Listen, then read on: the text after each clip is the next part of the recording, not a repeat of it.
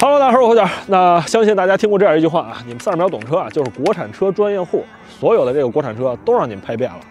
尤其是现在很火的这个新能源车型啊，什么这个亏电油耗、纯电能跑多少、性能测试啊，相信大家这些已经看腻了。哎，那就有人问了啊。现在的豪华品牌用车成本是多少啊？你们能不能再给我们来一期这样的节目？那现在呢，我们就找来一台奔驰的 C 级 350eL 插电式混合动力运动轿车。那这台车呢，其实在马路上 C 级啊，能见度很高，但是它是一个插电式混合动力的版本。那我们来看看。豪华品牌这个插电式混合动力新能源车型，它的一周的用车成本是多少？那接下来的节目啊，我也不太会像日常处在车边上给大家讲什么外观、动力、内饰啊等等一些。接下来的时间呢，我会进行一周的通勤的实际的体验，我会开着它上下班一周，来看看这个一周的时间里面，这台车的用车成本到底会花费多少。好，那咱们上车之后啊，照例先说一下这台车的基本情况，因为大家可能在之前基本上都会了解，呃，普通燃油版本的奔驰 C 级，那对这个插电式混合动力版本的奔驰 C 呢，可能不太了解。那这个 C 三五零 EL，它是一个 2.0T 发动机加电机的这么一个插电式混合动力车型。那它的百公里加速呢，在发动机和电机的共同协调下，可以达到六点九秒，所以说它是具备这种纯电和燃油车的双重优势的。而且它的 WLTC 的纯电行驶里程呢，已经达到了一百零五公里，所以说这台车整个开起来的，呃，甭管是油耗啊和用车成本，其实是非常低的。在满油满电的状态下，它的百公里油耗可以达到一点二七升。那下面呢，导演组啊，在右边的手套箱里面还给我留了一个任务卡，因为咱们要挑战这个一周的通勤时间、用车成本嘛，看看他们是有没有什么 要求。我们来看一下啊。花卷，你要用一百元的油费完成通勤一周五天的挑战，其中包括你上下班的路途和一些你日常的活动。如果燃油花费不足一百元，即算挑战成功。我们先来计算一下这个从公司到我们家的距离，单程啊这块显示是二十三公里，那往返一天就是四十六公里。那一周五天的时间，我算一下啊，就是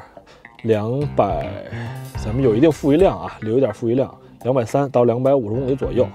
其实这一百块钱呀，还真是可丁可卯的。那既然这样，我们为了这个数据啊，还有这个车的安全起见，我们先把这个车的油补满，电给它充满，然后在五天之后呢，同一个加油站的同一个油枪里面，我们再把它加满，看看这一周的时间里，我们能不能用掉一百块钱油。那现在是礼拜一的早上啊，我特地给这车找了一块地儿，单独的一个区域。因为这个老小区里面这块全都是树，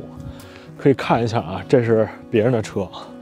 停几天基本上就这德行了，全是树叶子、鸟屎。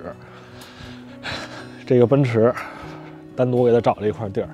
咱们先来看看这个奔驰的这一代的外观吧。整个这个外观设计，甭管奔驰经历了多少代车型，它还是这样的。中网非常典型、非常经典的一个三叉星辉，旁边横条的这种中网。我们来说一下吧。其实整台车啊和普通的这个奔驰 C 级的外观基本上设计是同源的，唯一的区别是在哪儿啊？在后面那个尾标，那个尾标上面不是奔驰 C 多少多少了，而是奔驰 C 三五零 EL，这是和普通版本的 C 唯一的区别。另外呢，这边是充电口，那边是加油口，仅此而已。那现在呢，我们去奔驰的内饰里面去看一下啊，这一代 C 级的内饰，都说是小 S，咱们看看有没有小 S 感觉啊？一坐进这个奔驰的内饰啊，应验了一句话，都说这个小姑娘喜欢上奔驰，怪不得，整个的这个内饰这个氛围啊，还有这豪华感一下就出来了。整个的这个全新一代的 C 级的内饰和上一代相比啊，变化非常的大。你可以看到很多这个实体按键都被取消掉了，前面是一块十一点九英寸的全液晶仪表，前面这个中控大屏呢是一个十二点三英寸的，有点像竖屏的这样一个大的中控屏。我先说一下啊，其实整个奔驰的内饰，如果你留意过，呃，之前几代的这个奔驰的内饰，尤其是从一九九四年那一代的 S 级 W 幺四零那一代。它的内饰呢，整个其实是在做减法的。每一代的奔驰呢，整个的内饰会变得越来越简洁，越来越豪华。而且这一代的奔驰啊，突出一点就是用科技来诠释豪华这个感觉。所以说，我也觉得奔驰是唯一一个在取消了大量的这个实体按键之后啊，不违和的这么一个内饰。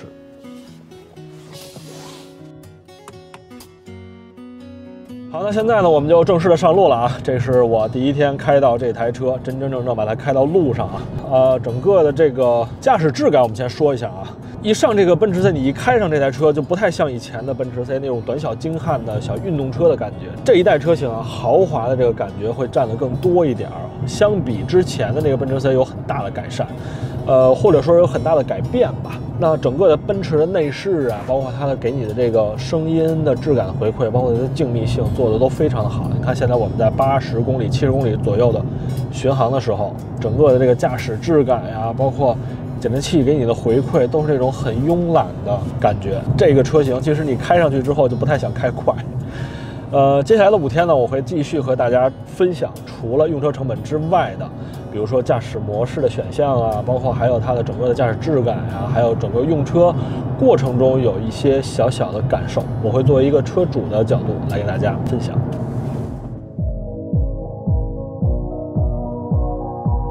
好，现在我们已经来到了第三天的晚上，刚刚下班啊。那经过这两天的整个的驾驶啊，我决定给大家拍一点整个这两天驾驶 C 三五零 EL 的整个的感受吧。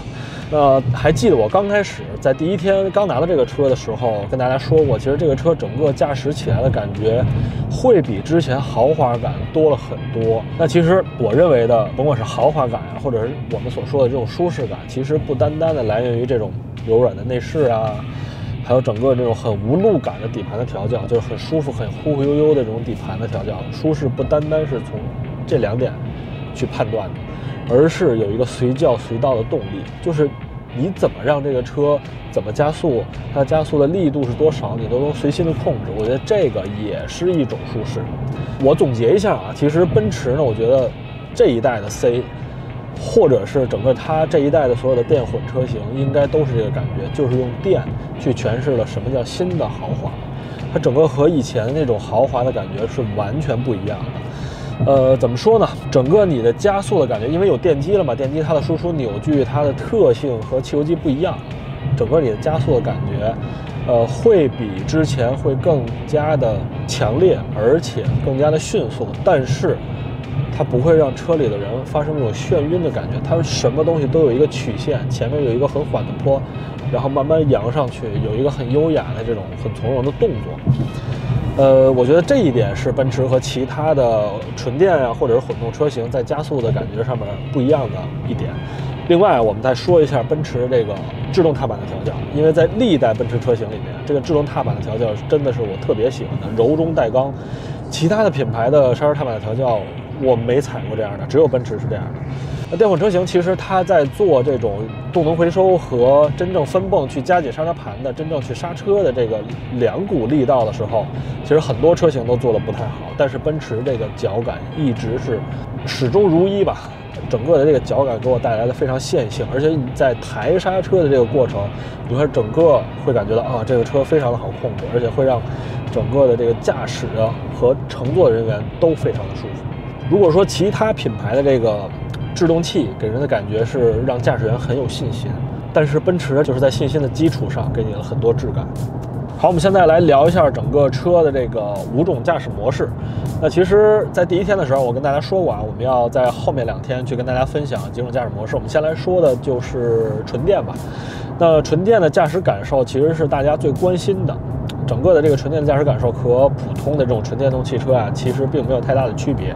但是在起步啊和刹停的这个两个过程里面，它其实非常的柔和，就像我们刚才说的那样，你油门踏板下去的那一刻，它所有的东西都有一个缓儿，有一个曲线，它慢慢的把这辆车悠起来，然后但是它的速度并不慢，你会感觉到这个过程非常的舒服，而且加速的非常线性。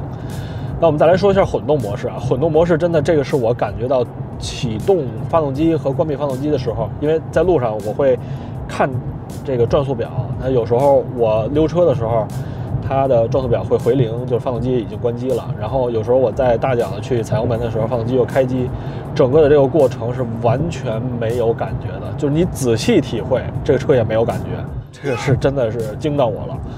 我不知道是不是由于新车的问题啊，但是我觉得奔驰做这个东西还是有两把刷子的。好，我们再来说一下其他的驾驶模式，还有一个运动模式。那运动模式就不说了，在我们大脚油门的时候，基本上就是电机和汽油机同时能使多大劲儿就使多大劲儿。另外呢，还有一个 i，i 就是我们很多奔驰的老车主应该了解啊，它是一个可以自己编辑驾驶模式的，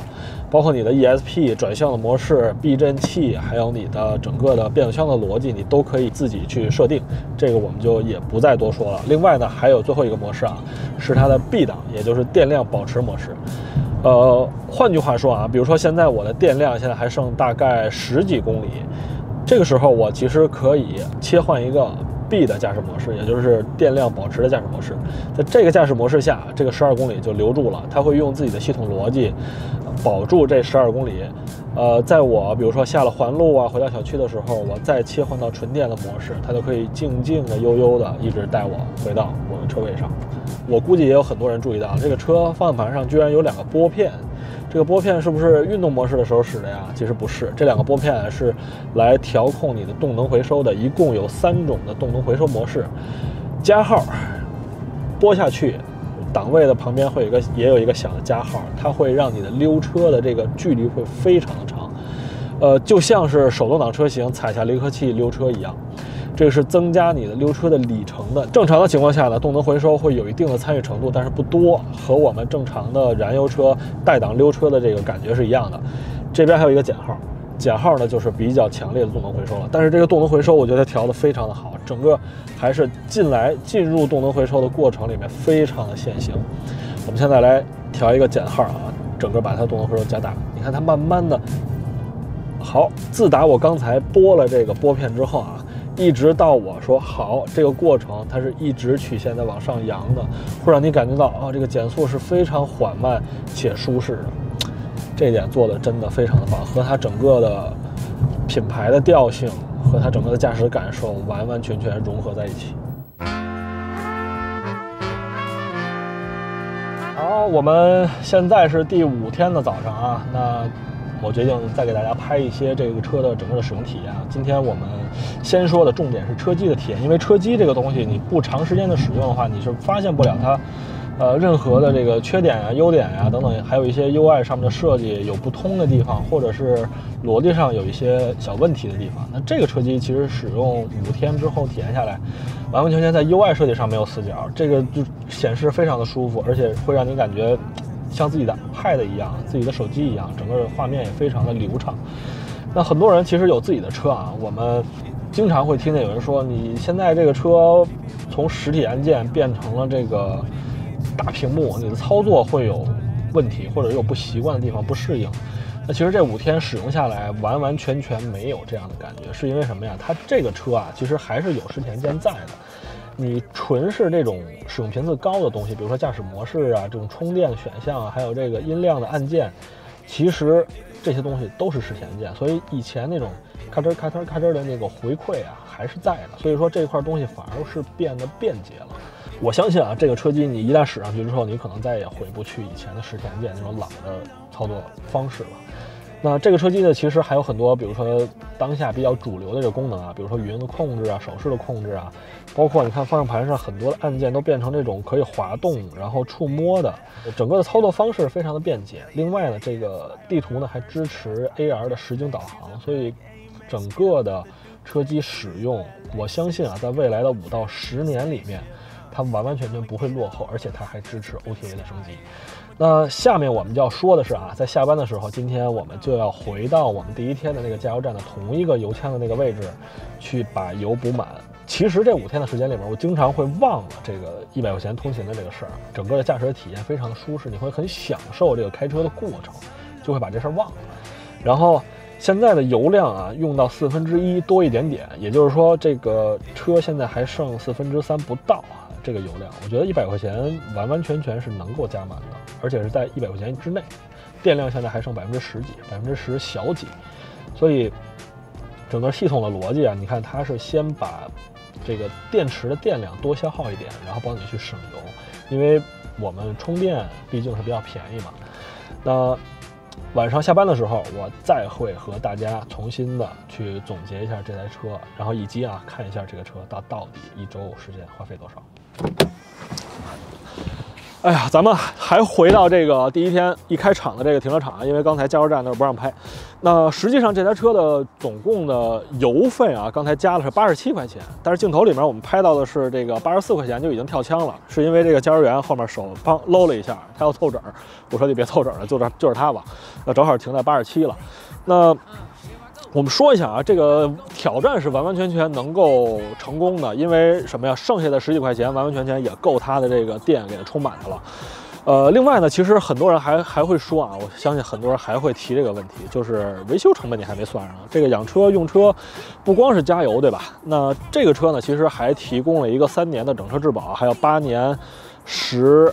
三年整车质保是不限里程的啊，这个八年十二万公里呢是电子电力单元，还有这个驱动电机，包括高压电池包，这些都是含在里面的。那另外呢，这台车啊，我相信还还会有人有更多细枝末节的问题想要了解，比如它的技术啊，比如它的更多的其他的一些日常的使用啊。那欢迎您在屏幕下方给我留言啊，咱们这期节目就不再多说了。那有空呢，我还会再做节目给大家讲这台车的。那这期节目就先到这儿了啊，咱们下回见啊！有什么喜欢的车，记得找我。you